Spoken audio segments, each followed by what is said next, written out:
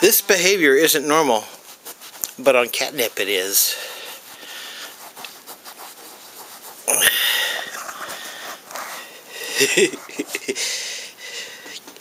Kitty is a drug addict. Kitty is a drug addict.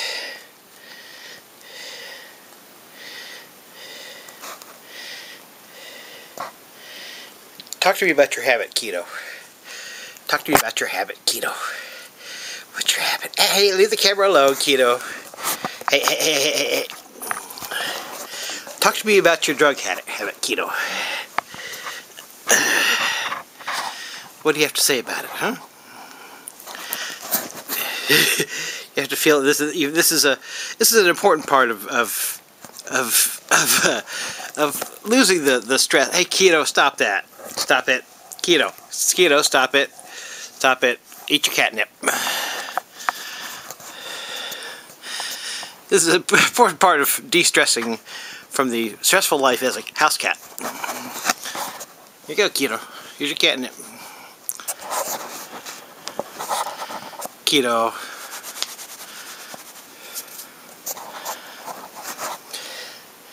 You don't want to do your drug habit on the on the on the YouTubes, maybe. You don't want to do your drug habit on the YouTubes, keto. This, this is to help the other cats out there who may be having the same catnip habit as you. Now you have to help the other other ketos that may be having a problem with catnip dependency. Yes.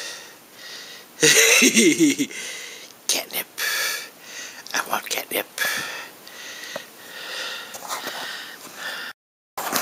I have to admit to my role as a catnip enabler. We started out with a catnip mouse.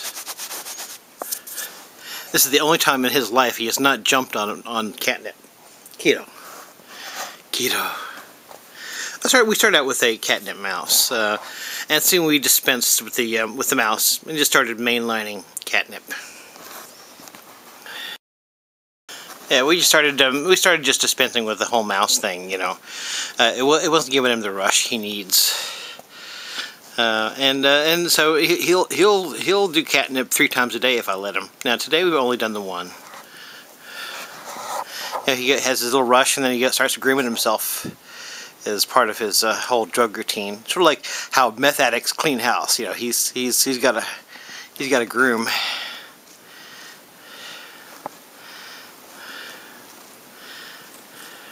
Then he does a little more catnip. Slobber on the bed sheet. And he does a little bit more grooming. It really has become uh, for him a, a, bit of a dependency, I think. And I'm trying to trying to, to wean him off of it. Catnip. Not even once. Catnip. Not even once. That's a that's a piece of paper keto. That's a piece of paper keto. No, don't eat the paper, damn it. Don't eat the paper, damn it. That's paper. That was paper keto. You don't care.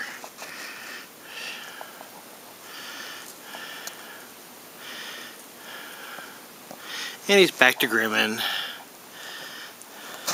Uh, he he knows he's being recorded, so he's not uh, he's not engaging in the kind of rambunctious behavior he normally would. Normally he just rolls around rolls around on, on the bed uh, for quite a while. Now he's being a little bit more. Yeah, there he goes.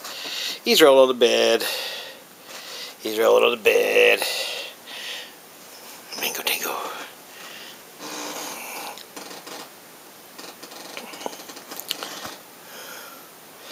I know that catnip is supposed to be not not har harmless to cats, but uh, obviously it, it, does affect him in the, sense, the same way that uh, that a drug would. You know, pretty much, it's a drug habit.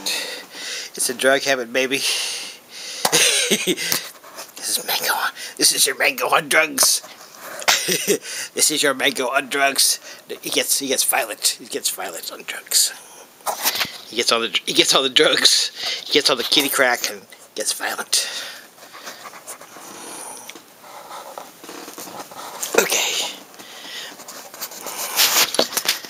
Catnip. Not even once.